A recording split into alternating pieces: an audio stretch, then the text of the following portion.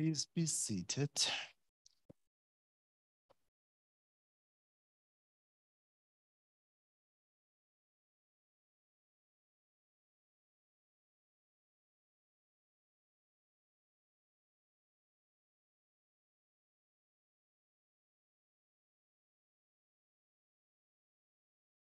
Deans, deputy deans, heads of departments, members of Senate, students, family and friends of Professor Prevec, honored guests, colleagues, and friends.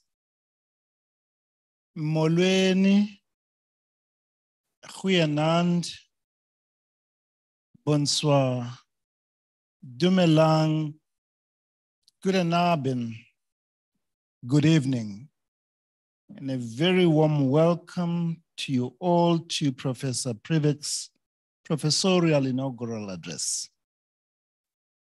I extend a special welcome to the family, friends, collaborators, and colleagues of Professor Prevec, some of whom have joined this special university celebration via digital platforms.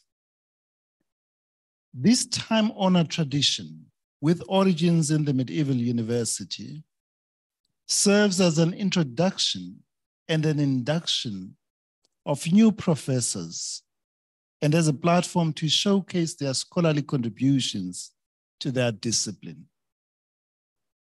It is also an occasion in which we, as academic peers, colleagues, students, family, friends, and the public celebrate the intellectual and scholarly achievements and contribution of one of our own. Promotion of, or appointment to the rank of full professor marks a significant milestone in an academic's prof professional and intellectual career. On behalf of our University Council and the entire Rhodes University community, I offer our warm and heartfelt congratulations to you, Professor Prevec, on your promotion to the rank of full professor of Rhodes University and for reaching the pinnacle of your career in the academy. Honored guests, on an occasion like this, we introduce our new professor fully. So I have the distinct honor of presenting to you one of our newest additions to the illustrious community of scholars who hold the position of full professor of Rhodes University, one Stevek, Steven Prevec. Steven was born and raised in Southern Ontario, Canada into a family with mining connections, which is likely where his interest in geology developed. He was an avid ice hockey player. Since moving to South Africa, Professor Prevec's love of music and talent has led him to perform at National Arts Festival, Acoustic Cafe, and other music events. He is currently the first trombone of the Makana Community Orchestra. He is also a whiz in archery and has competed and won at provincial level. He's married to Dr. Rosemary Prevec, a research associate in our Department of Botany, and has two children. Professor Prevec completed a BSc honors degree, a higher standard of a four-year degree, and an MSc, de an MSc degree in geology at McMaster University, Hamilton, Ontario. He did his honors and master's projects under the supervision of Dr. Robert McNutt, a Canadian isotope geochemist who was a big influence in his life. Steve's father Dr. Ludwig, Ludwig was a life sciences professor there. So that was obviously an influence on his choosing academia in the first place.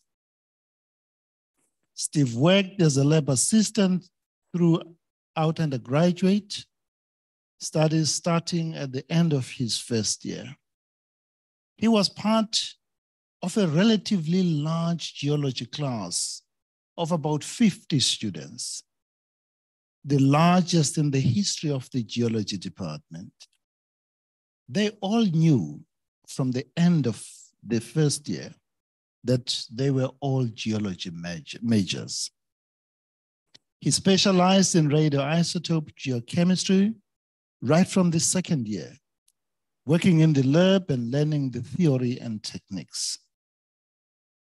His PhD was completed at the Department of Earth Sciences at the University of Alberta in Edmonton, Alberta, under the supervision of Dr.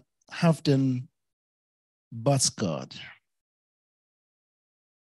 All of this research has involved, all of his research has involved the analysis of long-lived radioactive isotopes as geological traces in rocks. While finishing his PhD in his spare time, he was employed as a geochronologist by the Geological Survey of Canada in Ottawa, and then setting up isotope analytical facilities at the Research Institute Geotop at the University of Quebec in Montreal. After completing his PhD, he undertook a postdoctoral research contract at Laurentian University in Sudbury, Canada, for four years. Thereafter, he took up the post of research officer at the famous Bernard Price Institute of Geophysical Research at the University of Witwatersrand, Johannesburg, a move which ultimately led him to our university. It was in 2004, after six years at WITS, that he accepted an offer from the Department of Geology at Rhodes University making him a long serving member of almost 20 years in the Department of Geology. Professor Prevec says that he got to know about Rhodes University through the SciFest, in which he had participated every year. And because of the profiles of some of the staff members, Professor Ilse, Professor Goonie Marsh, and Professor Moore, while he was still at WITS. His research involves the use of radioisotopes, geochemistry, and rock and mineral textural information to decipher the evolution of rocks, mostly associated with giant impact craters or ore deposits, or sometimes both, and usually from intrusions of magma from melting of the earth's mantle. In his many years with us, he has taken on several different roles. He was the manager of the electronic micros, uh, microprobe analytical facility for many years. He is a current and long-serving member of Senate and was both acting head and head of the geology department for many years. Outside of his extensive involvement with our university, he's a member of various professional societies, such as the Geological Association of Canada, Geological Society of South Africa, where he is also the Eastern Cape representative, the Mineralogical Society of South Africa and of Canada, and the Society of Economic Geologists, He's also a founder member of the Igneous and Metamorphic Studies Group, of which he remains the Executive General, General Secretary. Over the years, Professor Prevec has reviewed approximately 70 journal articles and two field trip guidebooks. He has also had 36 published papers in refereed journals journally reviewed outputs and book chapters. Until recently, Professor Prevec was the associate editor for the South African Journal of Geology. He is the current MINSA Geod Quarterly magazine editor and became the co-editor of the International Canadian Mineralogists Journal last year. Professor Prevec is currently supervising one PhD and five MSc students. He has supervised or co-supervised approximately 40 postgraduate student projects. This includes serving as the primary supervisor of one graduated PhD project to date, seven master's projects, and numerous honors projects. He has participated as a judge in several Eastern Cape Science Fairs since 2005 and has been the organizer, administrator, and team leader of Rhodes Geology contribution to the National Science Festival for many years as well. Since 2012, he has conducted annual geology talks and career guidance sessions at local schools. Professor Prevec has also facilitated internships for high school students in his department. And now, honored guests, colleagues, and friends, it is my greatest pleasure to invite Professor Prevec to present his professorial inaugural lecture titled Negotiating the Paradigm Shifts of the Earth Sciences, Igneous Rocks, Ore Deposits, and Impact cratering, or my four decades of geological pursuits. Are we there yet? Professor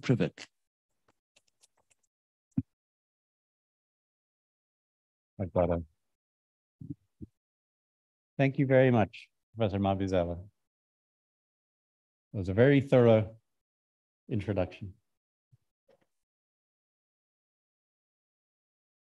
that. I'm going to turn that off.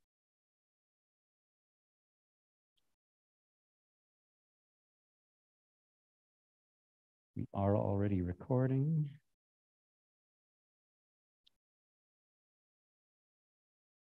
I think I need to share screen. It's already sharing. Mm-hmm. We're in business. Okay. So the, the theme of my presentation is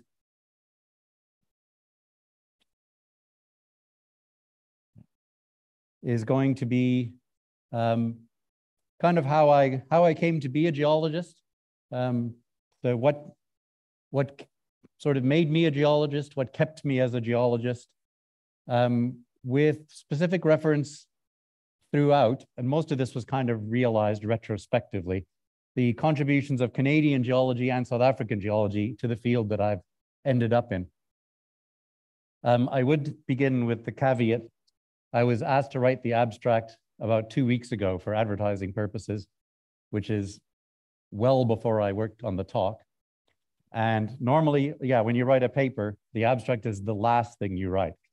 So um, on, on advice of counsel, I'm not going to uh, go on on all three of these kind of paradigm shifts that I had thought maybe I would.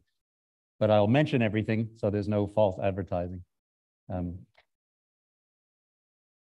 slides.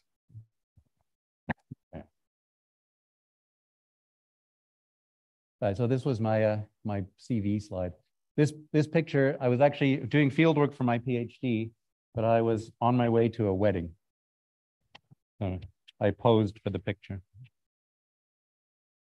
So just looking at the history of geology, I just did a kind of survey of geology departments. I think this is going to be.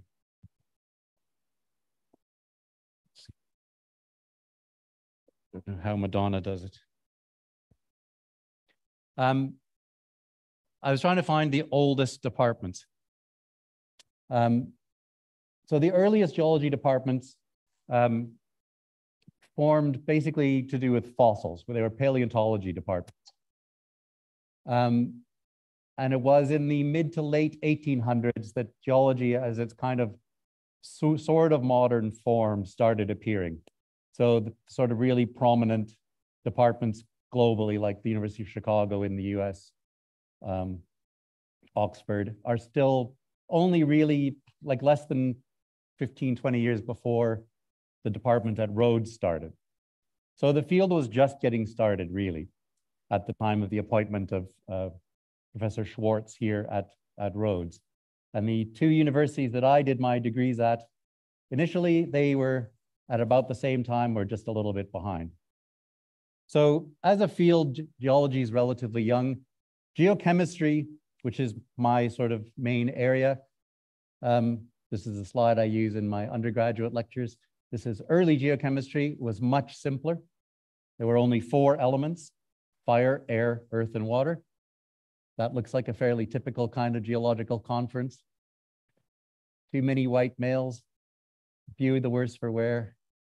Um, so um, geochemistry in its modern form started taking shape during the kind of dark ages, middle ages, in the form of alchemy, of the efforts to transform base metals, so relatively valueless but malleable metals, into precious metals, things like gold and silver.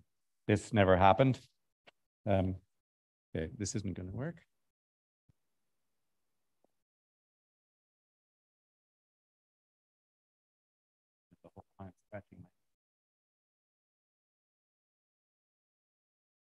Go back to this.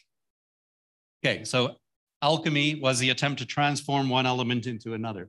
So as it turns out, in Paris in the late 1800s, Henri Becquerel, along with um, Pierre Curie and Maria Sklodowska, who became later much better known as Marie Curie, having after marrying Pierre um, and becoming a French citizen. Oh, it said it was shared at the beginning.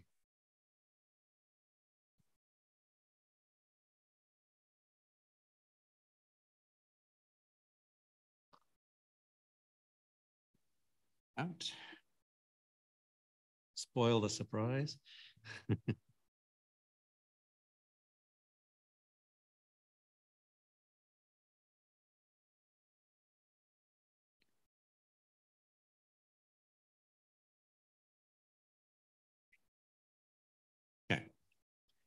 So yeah, they worked in Henri Becquerel's lab. Pierre Curie was working on magnetism, but it was Marie that actually discovered, well, Pierre had discovered the first radioactive elements. He discovered thorium. Marie discovered radium and discovered the uranium decay chain. And um, so, yeah, it was technically Mother Nature here that was actually doing the conversion of metals into another metal. Um, so here's our uranium ore. And it was Marie that discovered that it was radioactive. Now, the some of the side effects were discovered very fairly quickly. Others only uh, discovered later on. There's supposed to be sound that goes with this. Um, okay, anyway. So, uh,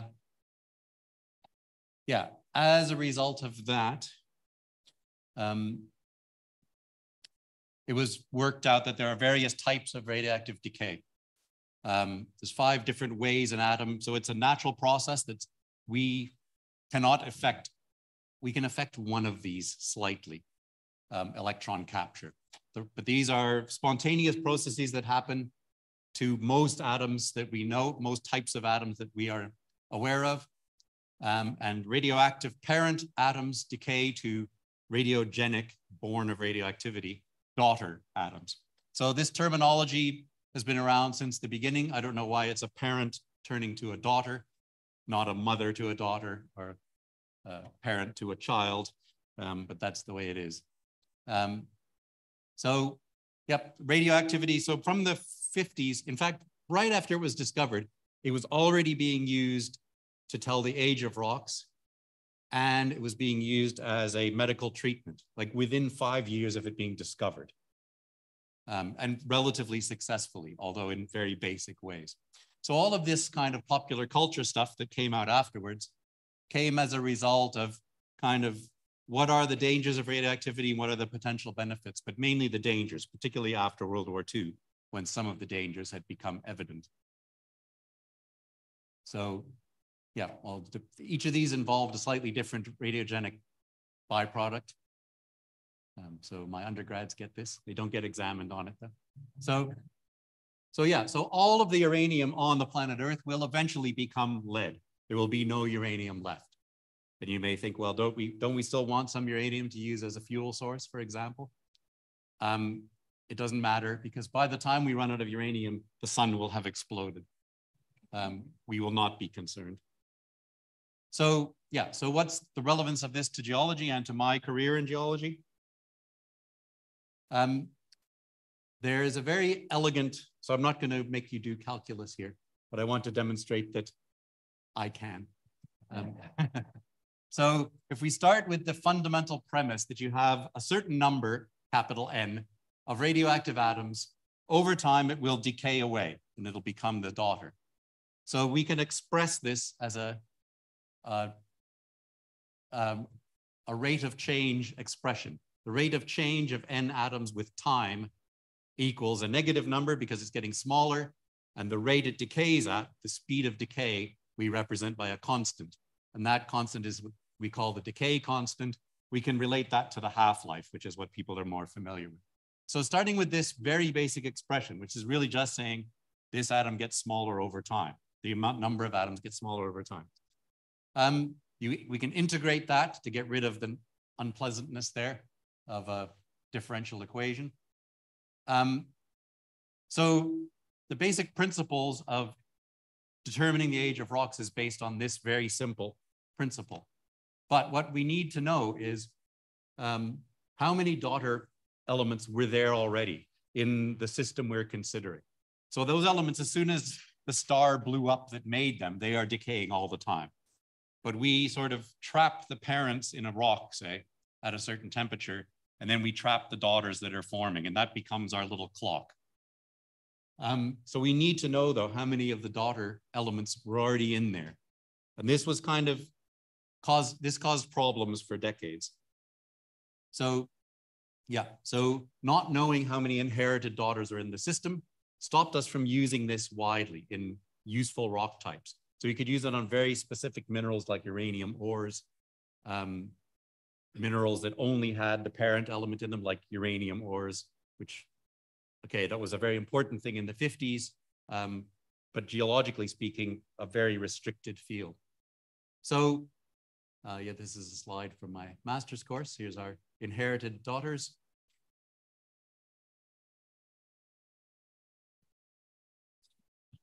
So yeah, we need to know how many inherited daughters or we can't use this method widely. So the solution was we applied some algebra to our initial little bit of calculus.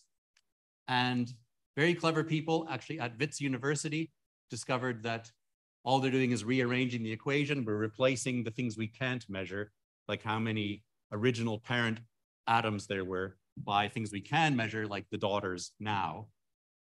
And they worked out that this little thing is a, uh, the expression for a straight line. And that was this revelation in 1961. This work was done at WITS by Louis Nicolaysen and his team there. Um, Louis was still there when I arrived in South Africa in 98. Um, we were, we became friends. He, he died about 10 years after that, I guess, um, at, a, at a ripe old age.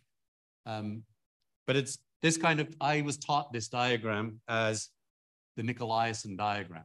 It's now become, that term has fallen away. It's called the isochron diagram because the line joining points of equal age is called an isochron. But it was this revelation that the intercept at the left tells you the initial composition of the daughter product in the system. So you don't have to be able to measure it. You can mathematically calculate. And that opened it up completely. So now we're up into the 80s and my honors thesis work in Arctic Canada, so where the, the dot is showing, involved, I'd already been working in the lab for three years at this point. So it involved attempting to determine an age for rocks. I got my little isochron, which is not a very good isochron because it's a clump of points and then another point. So it's like two points. So I then took another rock and sliced it up into uh, seven slices, each with slightly different mineralogical characteristics, and I got a much better line with a different age. And in retrospect, all of these ages have turned out to be correct, just not really precise enough to publish. It's definitely not now. Um, this was from my master's in Eastern Canada, in Eastern Labrador. Um, I was looking at rocks where the minerals were reacting with other minerals around them. And what we see here is these reaction rims or coronas where new minerals are forming. And I actually crushed these rocks up and sort of dissected these minerals and made isochrons.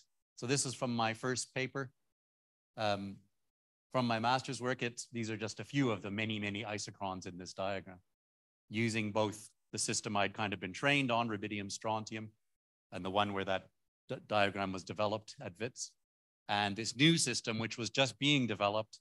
It had only been used on lunar rocks in the 70s, and we were, we were among the first labs in Canada to develop this.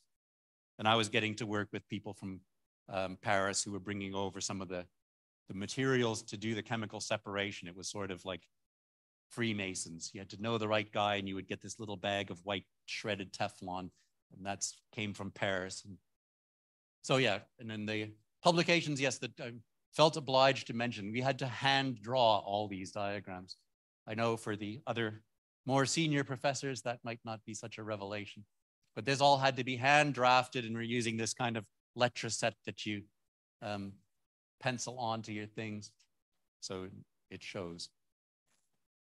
This was my, this has always been my favorite petrological picture. It's from my master's. It's one of these minerals surround, uh, surrounded by another mineral and reacting, and it just happens to have a twin across the middle. So it's always been my favorite. I use it wherever I can. So one of the things that was attractive about geology was getting to go out into the field and, and observe and sample rocks. So being out in nature and often in relatively obscure places. So this is my first, wasn't my first summer job sort of thing, but it was my first time really in a geological field crew, which we called a field party. One of my friends was pointing out that like the, the leader of the group's called the party chief, but he's not, they're not party people. Um, um, they're the grown-ups. So this is just, this is in the Arctic in Canada. This is just on a morning traverse where we're off to do our, whatever, 15 kilometers of walking and collecting rocks. And the fog had yet to burn off on the side of this lake. The temperature up there was about five degrees the whole summer. Um, we were in heavy duty sort of windproof clothing. That is snow in the picture on the rocks. So these were some of these were some of the rocks I did my honors project on. They're rocks that are partially melting or have been partially melted. I realized when I was putting this together that there's a bit of a melting theme in my research. This is one of my earliest animal pictures. This is before you move to South Africa and discover that there's lots of animals. That's an, that's an owl standing on the ground about 50 meters away. And I think it's huge. My memory is that it was sort of like a meter tall. And it's still in its winter plumage because the snow had just melted. So the, over the summer, it would they would convert and become brown. But within two months, it would be snowing again. So I did see, we did see caribou. We were on a kind of, we are not on a main migration route. There were some that were still white, some were still, some were brown. This was my first time also being, um, there was five of us. We kind of knew there's no other humans for 100 kilometers in any direction. There's no little settlements. We knew where the nearest places were. Um, you had to come in by plane or helicopter. A plane brought us in and landed on the lake we were on because it was still iced up. And then over the summer that melted and we fished out of it for our food. This was my master's working in Eastern Labrador. That's me at my hunkiest there. Um, so that's, I'm sitting in a helicopter. We went out every day in a helicopter to be dropped off. That was our field crew. That's what happens to boots after one summer in the field. You'd buy them at the beginning and throw them away at the end. Um, but it was a very, yeah, the, your connection with your, you're working with people who have a few years experience and then a party chief who does this for a living. So there's a whole little hierarchy of training. Um, and that's how you acquire your skills. This is from my PhD then, where I was um, sampling with one assistant. I did this over two summers with different assistants. Um, so yep, camping in the field, going out every day and collecting samples and uh, recognizing and describing rocks. This is much more recent. This is from about less than 10 years ago, but just show this, this is my favorite sampling season is autumn. Um, so we're out, this is how we have to collect these samples a lot of the time um, is with a rock saw. Um, and my colleague there is pouring water on the, the blade so it doesn't overheat and get destroyed. Um, um, the other hazard for Canadian uh, geology, okay, bears are a minor hazard, but bears normally, if you're hitting the rocks with a hammer, the bear hears you, it knows you're there, it goes away. If you're sampling in um, October, it's hunting season. So which is why I'm wearing orange as well. So the bears are scarce. Those are black flies, the famous bane of the Canadian, uh, well, of Canada, let's say. So there's a couple black flies busy there, and then there's some of their work. So that leads us to some animal pictures, just to show we're, we're interconnecting with wildlife. So there's a chipmunk that we found occupying our coffee pot in the morning. That's from when I was doing my PhD, Sudbury.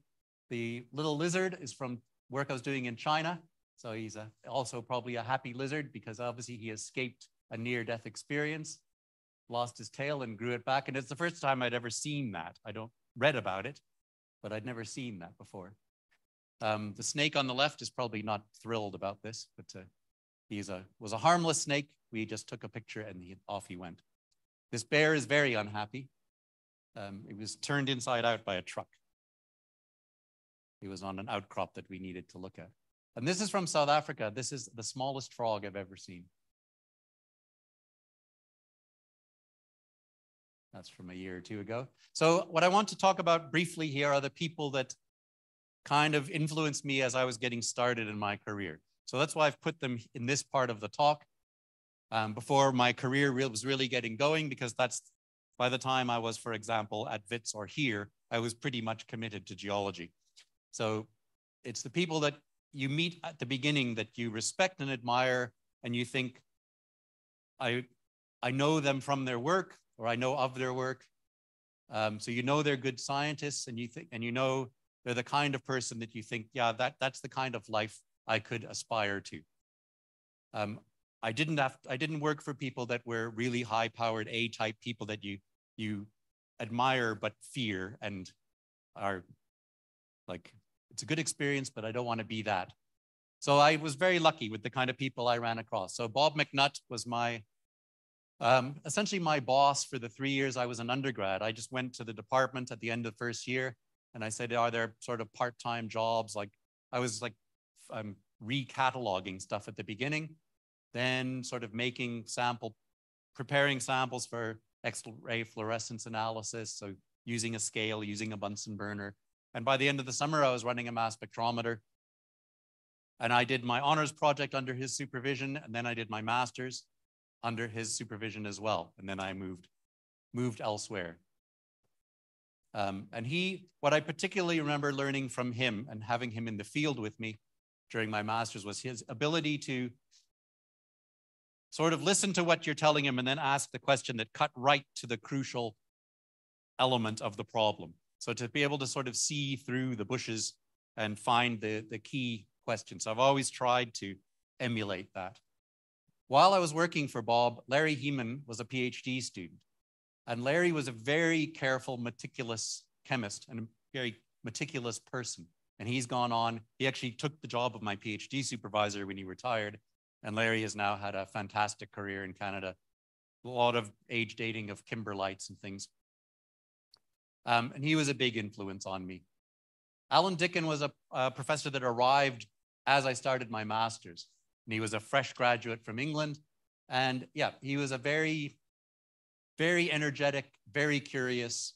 Um, he's a very interesting guy. He, he's a, a very devout Christian at the same time as being a very active isotope geochemist working on ancient rocks. And he doesn't let that slow him down. He writes books on reconciling the Bible with our observations. Um, so it hasn't cramped his style at all. If anything, it's stimulated him. My PhD supervisor was Halfdan Bud Baadsgaard. Um, he was from Minnesota, but of uh, Danish extraction. Um, he was an interesting guy. and he was a he was a chemist from the 50s and 60s, um, and uh, I learned a lot of sort of uh, yeah chemical lab procedure, but also this kind of very sort of benign curiosity in how to manage a lab from him. Then I had the good fortune to work in the Geological Survey of Canada lab, um, picking zircons and learning how geochronology worked from people who were doing this for a living. I was busy writing my PhD and not in a big rush about it. And I worked for Jim. We were we we pioneered various techniques. Jim would come up with ideas like, well, let's etch this with hydrofluoric acid. And I would set up a, like with my pen knife and some Tupperware, we would set up stuff. Um, and then that evolved into other techniques that are now mainstream ones. Um, so I was only there for a couple of years. It was a very interesting lab to work in. I went to Montreal from there and I worked, I was hired by Clément Gariépy, whose name I knew from the literature, to help set up a lab for Ross Stevenson, who was a couple of years older than me. And I'd met him at a conference and he was struggling to get his lab operating. So they, they whisked me over, said, no, no, don't, don't worry about finishing your PhD. We need you right now. Um, and that went fine. I, I, we got Ross's lab running. I got my PhD done made very good friends, got introduced to this kind of French culture, um, which I wouldn't have otherwise been exposed to.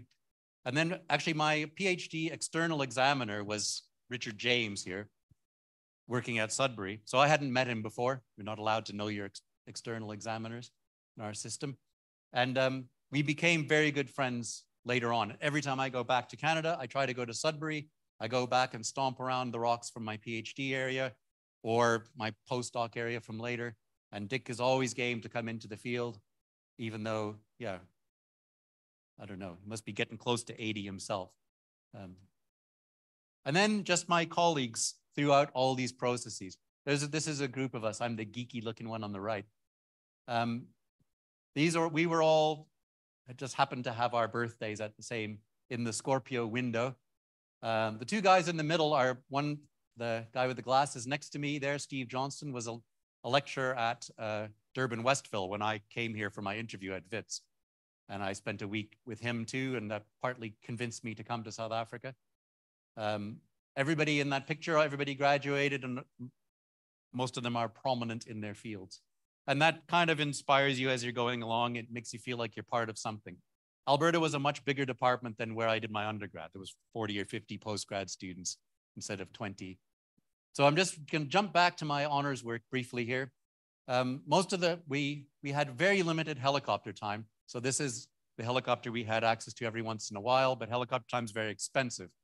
So my, our party chief, another is Norwegian, I think this time, Mikkel Shaw, we had a plane and we wanted to drop a whole bunch of equipment like two tents, a stove, and a whole bunch of food about 30 kilometers away we would drop two of these big bags.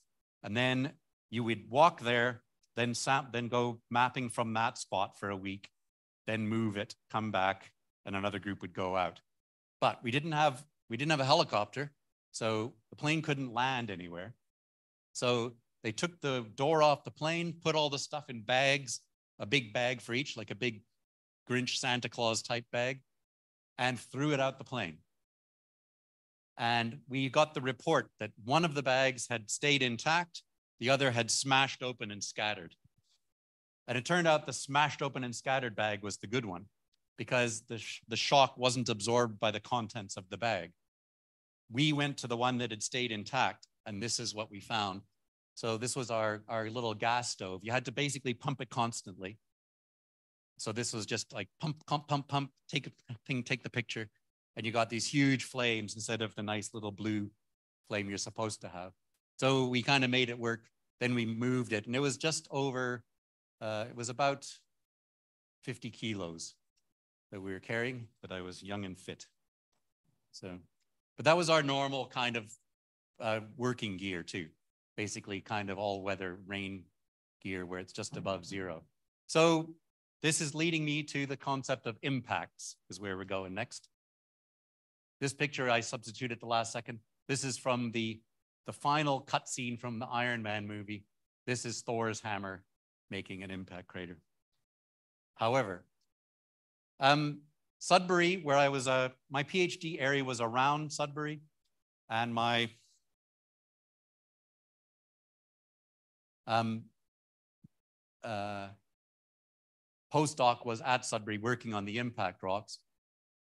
Um, the idea that Earth could have been hit by meteorites was not a novel one in itself. Everybody is quite fine and has always been fine with the concept that in the early few millions or hundreds of millions of years of Earth history, it was formed by intensive meteorite bombardment. But it's kind of assumed that since the development of our atmosphere, that process is, was minimal or non existent. We see comets all the time. Here's a picture I took in 1997, standing about knee deep in snow outside of my house in Sudbury. And this is one from standing 10 kilometers north of Grahamstown from 2007. So these, doesn't matter if it's a comet or a meteorite, it has the same effect when it hits the ground. Um, we know that the moon has been hit by meteorites. We can see the craters. Um, but on Earth, this concept was not well accepted. Since the early 1960s, people had been proposing various circular structures as being impact craters. And before that, people assumed they were some kind of volcanic feature or occasionally a sinkhole. And the reason was, yeah, we had just finished in the 1800s the idea that the, all of the rocks on the earth were things that precipitated out of the great flood from the Bible. We had just kind of come out of that, almost within people's living memories into the mid 1900s. So we were not keen to go back to big catastrophes as um, earth changing events. And you may think, well, what about earthquakes and volcanoes? Those are catastrophes. But those are kind of catastrophes on the scale of human lifespans, but not geologically. They're kind of happening constantly. And now that we have plate tectonics as a mechanism for how things are working, um, we kind of know what drives them. So we know that that's why there's a volcano and an earthquake. It's going to happen sometime on a regular interval. So it's not a catastrophe in the random event sense. However, um, NASA, for example, accepted the possibility that there were terrestrial craters. So craters, craters on Earth. They sent their astronauts before they sent them to the moon. They sent them to look at the Ries crater in Germany, for example. These are the astronauts in a tower that's actually made of impact rock called Daniel um, in uh, a town in southwestern Germany in Bavaria. Um, so there they are, hoisting a pint. This is the town. It's one of these few remaining entirely walled cities, uh, Nördlingen. Um, the crater is just outside the town. The town has a very interesting little story associated with it. All over the town, there are these um, decorated pigs. And it turns out, yes, the town was saved from invasion because uh, a woman's pig escaped and it scuttled out a door that, to the city that was not meant to be open. And they discovered that uh, somebody had been bribed to leave that door open to let the invaders in. And because of the pig, they discovered this before it was too late. Um, according to the, my notes on this slide, the, the person who left the door open was questioned, then quartered. and anyway, the pigs have been venerated ever since. And she was given free rent in the city for the rest of her life. So this is the crater. This is all the material that was thrown up by the impact and then fall, fell back in. It's a rock type called suevite. There are big bombs of volcanic material, these giant blocks that were thrown out as well. So we use that term for volcanoes and for impact. So that, that's what the big chunks are. Um, this was Gene Cernan. He was the only astronaut sent that was actually a geologist. And here he's actually looking at impact rocks in Sudbury. And this was again in the this was in the early 70s when this model was still uh, not widely accepted. And there he, he, is on the moon, putting it into practice. Um, but what changed everybody's minds was the uh, discovery of comet Shoemaker or Schumacher Levy 9 in 1993.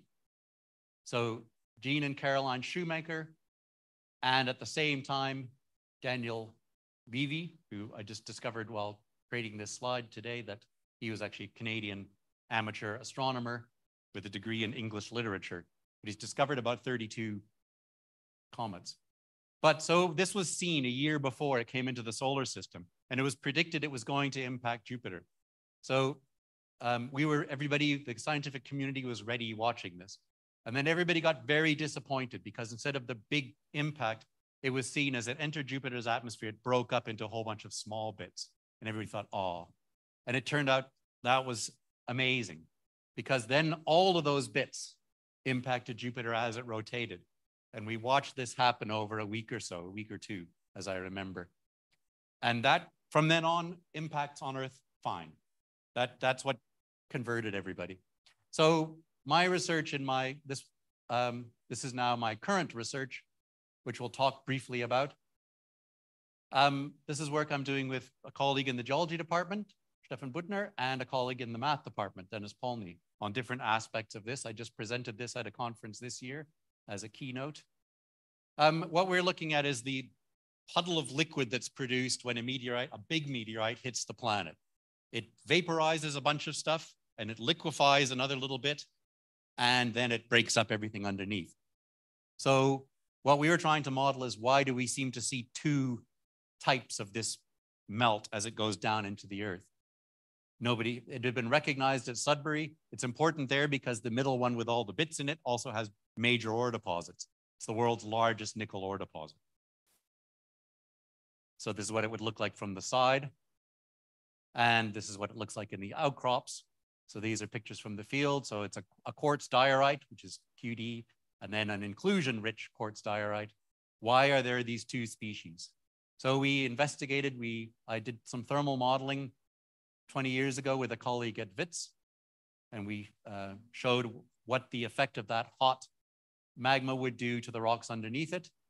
And then Steffen and I examined these various thermal models and came up with a new model involving pressure from above, pushing these magmas down into the floor rocks.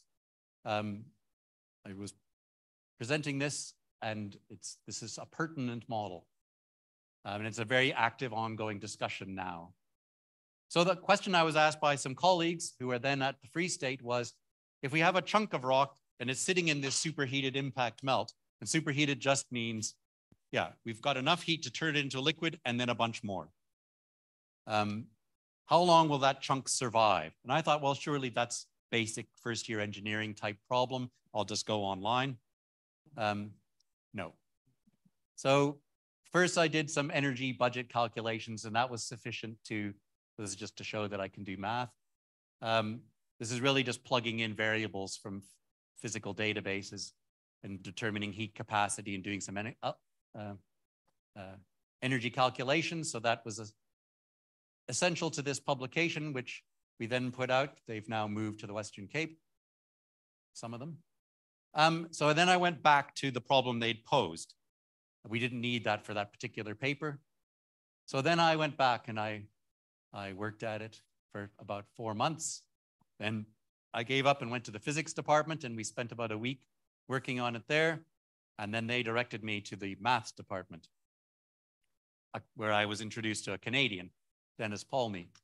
Um, so it turns out that, yes, because the clast is shrinking as it's being heated, you can't just put it in a spreadsheet and solve this. It's a special type of math problem called a Stefan problem.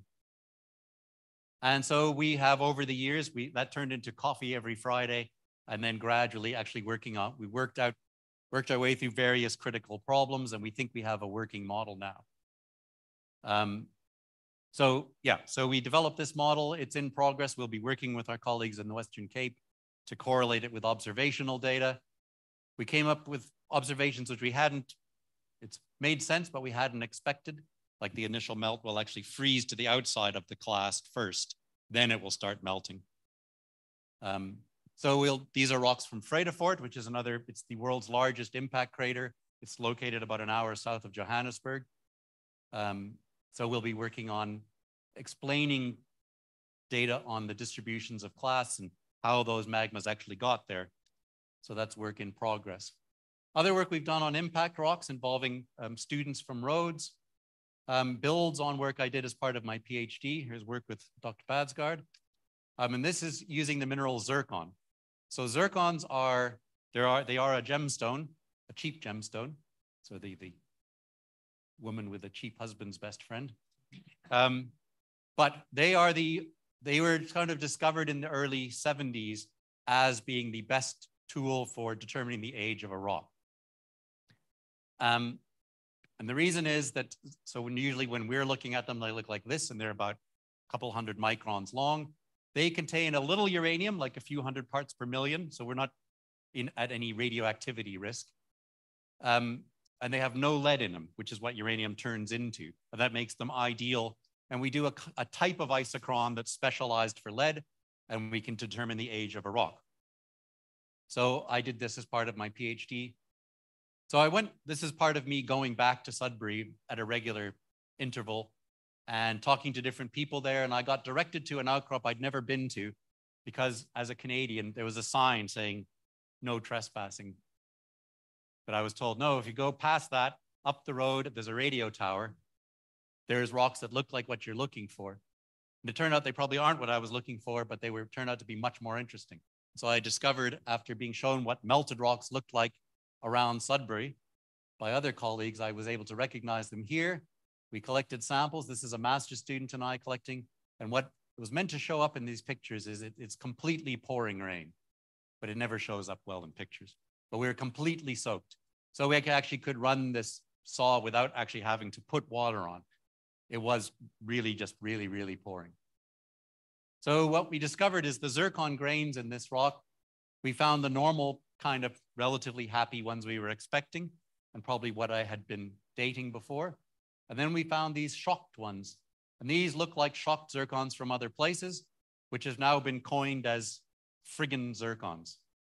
Former reidite in granular neoblastic zircon. So this was this is an American researcher who's based in Australia, Aaron Cavosie. So yeah, I, this was only discovered, the mineral reidite was discovered about 10 years ago. And it's a high pressure version of zircon. So yeah, this whole workshop full of people saying friggin' zircons. It's cute and amusing for about 10 minutes. But, so we think we have the same thing. Um, Aaron has offered to do the kind of analysis that I need to do to prove that they were reidite, because we can't do that in South Africa. So that's still the plan. Um, so I'll go just quickly through. This is the science part is more or less done. Um, the other kind of work that I do is on the igneous rocks that these zircons are found in. So it turns out we've been quite happy, like since the 50s, with how we think igneous rocks work. But in the last 20 or 30 years, those models have been questioned and are now in the process of being overturned to most people's view.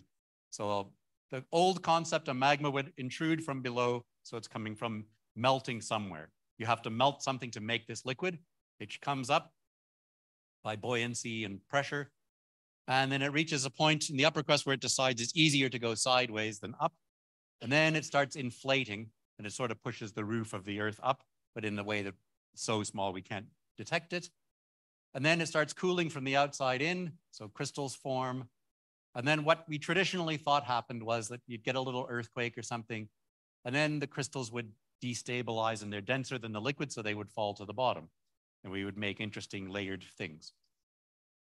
And then you get a new pulse of magma that comes in later. It sits on top of the old stuff. Where those magmas mix, you might get ore deposits like chromites. This is a big ore from South Africa. We are the world's main producer of it. It's an important part of steel. This work was also done on a foundation by Canadians. So here's my Canadian foundation. Norman Bowen, he's kind of the father of igneous petrology. Um, he worked for the Ontario Geological Survey originally, and then went on to do um, experimental work at the University of Chicago in the early 1900s, right up till he died. Um, he developed all these ideas that a crystal will form and settle to the bottom of this pile, what we call fractional crystallization. And then a little later on, Neil Irvine, uh, this is the only picture I can find, it's from his university website from about 20 years ago. I believe he is still alive. and I'm guessing his age. Um, but I think that's about right. A lot of the models that we use in our textbooks were developed by him in the late 60s and early 70s for how we form a lot of these ore deposits. And now all of these models are being questioned.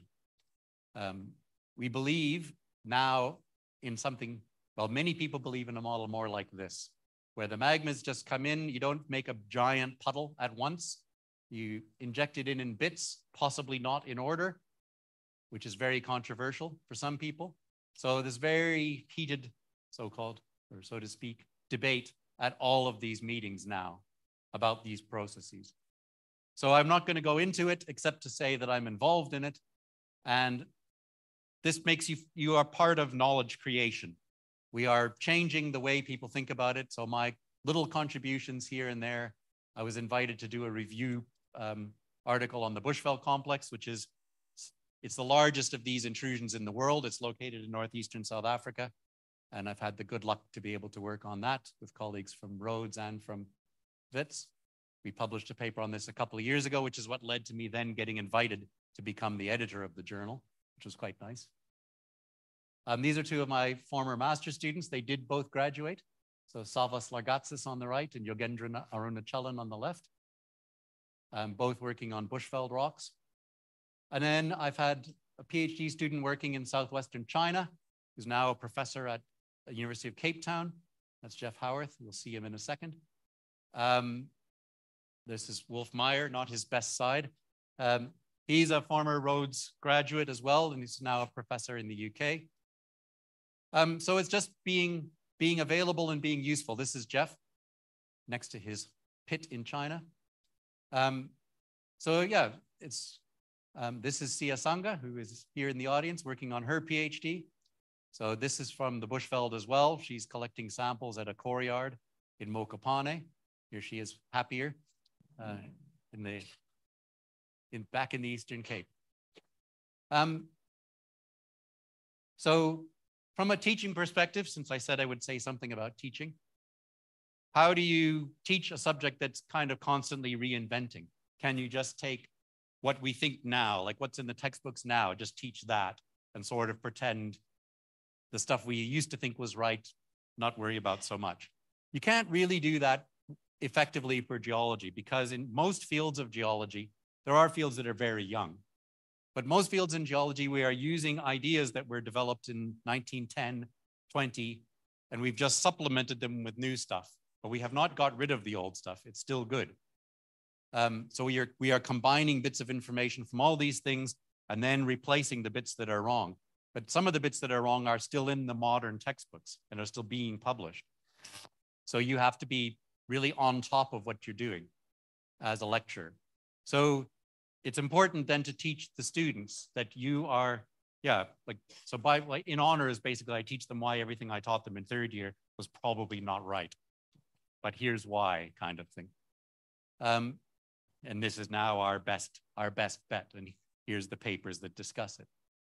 So we try to make them clear that this is an ongoing dynamic process of learning and that our their lecturers and their predecessors as students are the ones making these changes.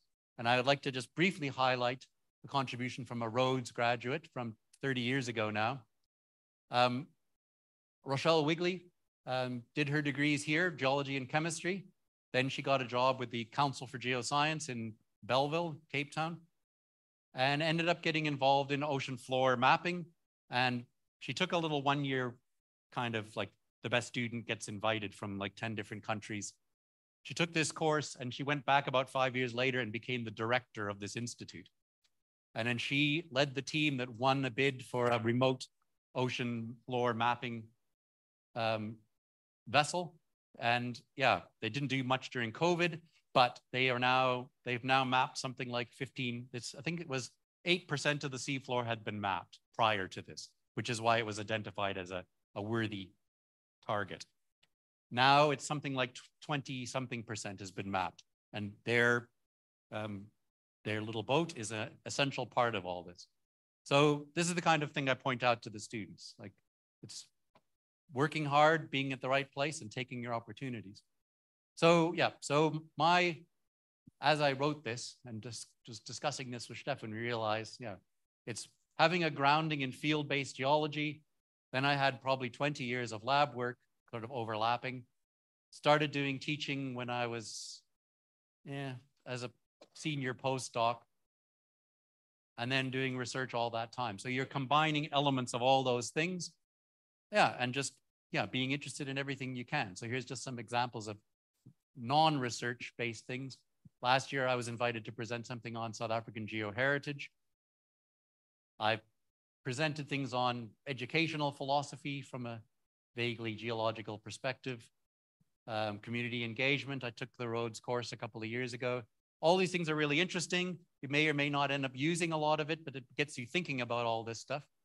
Um, I got involved in my, I was invited to start uh, being the editor of the Mineralogical Society's magazine about eight years ago now. I had previously been the editor of the Geological Society's magazine for about 10 years.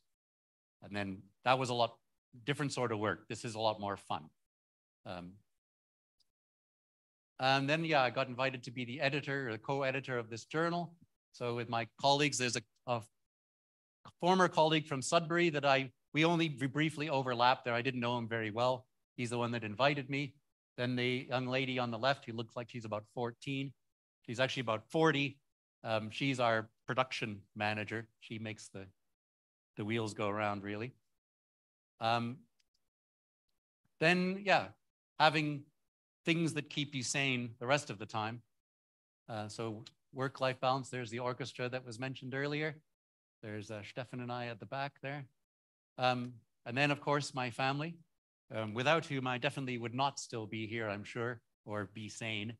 Um, so without them, uh, yes, a big thank you to them. Um,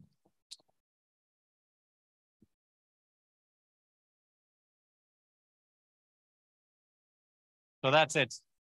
I do I do have one final slide. I I, I was uh, I had an email uh, from Professor Mabizela this morning asking about uh, influences, and then I, it occurred to me, oh yeah, my dad.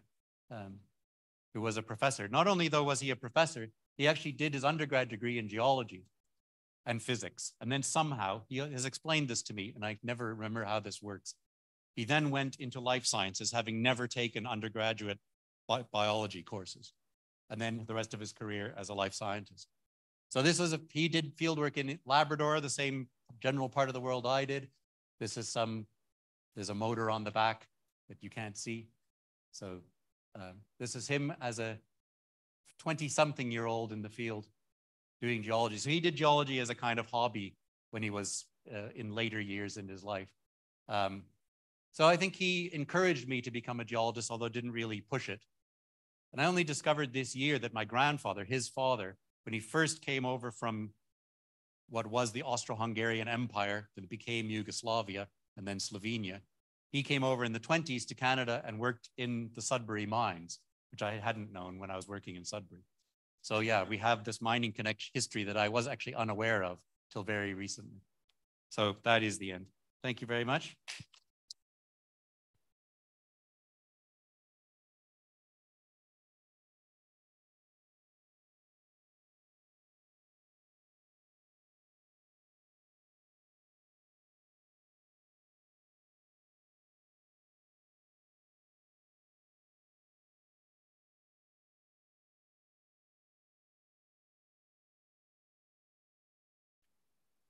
Super. Steve, thank you. Um, thank you for introducing yourself to us. Um, there's a, a, lot of humanity in what you've just spoken to us. There's also a lot of science. Um, a 40 year journey um, is really what it is. I see a lot of young, young students in the audience. Um, and yeah, I, I, want the take home message that I think that you should take home is that it takes time. Um, you developing questions, you are questioning what you read. Um, so here we have an, a, fantastic example of a discipline which is evolving extremely rapidly. And with observation, clever ideas, um, hypotheses, and, um, and good old, good old fashioned science is that you're creating new theory. Thank you, Steve. Um, here's a little token of thanks from us. Thank, Thank you. you. Um, it's small, It's purple. It's proudly purple. And congratulations on your, profess your professorship. You deserve it. Um, and you epitomize the scholar teacher model that we have. You are creating knowledge, which you can within a couple years impart to your students. So they're very lucky to have you. Thank you.